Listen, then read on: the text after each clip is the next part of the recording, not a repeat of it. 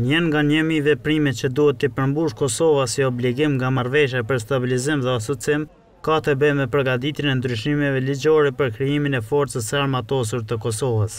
Qeveria duke përfshirë këtë kriter, tashmë ka përgaditur edhe veprime tjera në kuadër të asaj që njihet si Programi Kombëtar për Zbatimin e Marrëveshjes së Stabilizim Asocimit.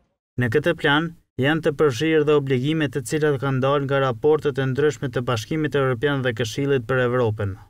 Dokumenti i siguruar nga Tribuna Channel nga Ministria e Integrimeve Evropiane, në bllokun ku flet për kriteret politike, ka përfshirë çështjet që kanë të bëjnë me demokracinë, sundimin e ligjit, Kushtetutën, Parlamentin, sistemin zgjedhor, administratën publike, Avokatin e Popullit, mbikëqyrjen civile të sigurisë etj.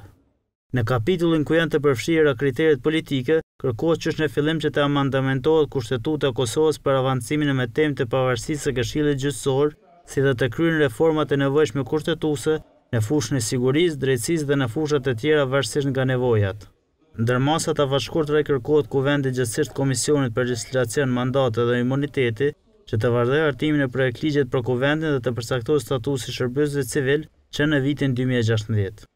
Kuvendit dhe Komisioneve u kërkohet që të rrisin edhe kontrollin e buxhetit, sidomos për shëndetësinë, bujqësinë, asistencën sociale, kulturë dhe arsim, ku duhet të themelohet njësia për analiza buxhetore dhe financiare. Po ashtu, Kuvendit i kërkohet që të miratojë edhe strategjinë për bashkëpunim ndërkombëtar dhe ndërparlamentar duke ngritur edhe kapacitetet e administratës së Kuvendit. Qeverisë dhe Kuvendit gjithashtu u kërkohet që në bashkëpunim të miratojnë planin e përbashkët për kompletimin e institucioneve dhe agjencioneve të pavarura.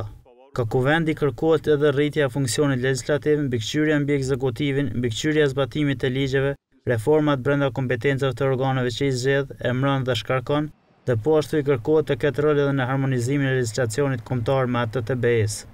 Në periudhë afatshkurtër, Kuvendit i kërkohet që të zhvillojë edhe mekanizmat për llogaridhënie të anëtarëve të Bordit, kërkesë kjo dalë nga raporti i progresit për vitin dy mijë e katërmbëdhjetë. Në kornizë afatmesme, kërkohet të bëhet edhe reforma zgjedhore në pajtim me rekomandimet e mundshme nga Komisioni i Venecias dhe konsensusi i partive parlamentare. Kosovës në kuadër të zbatimit të MSA-së i kërkohet që të bëjë zgjidhjen e nevojshme ligjore dhe ta bëjë zgjidhjen e sistemimit të Avokatit të Popullit. Tek pjesa ku shkruan për mbikëqyrjen civile të forcave të sigurisë, Kuvendit i kërkohet rritja e mbikëqyrjes ndaj Agjencisë për Inteligjencë, pasi sipas raportit të Këshillit të Evropës ka një mbikëqyrje partizane dhe joprofesionale.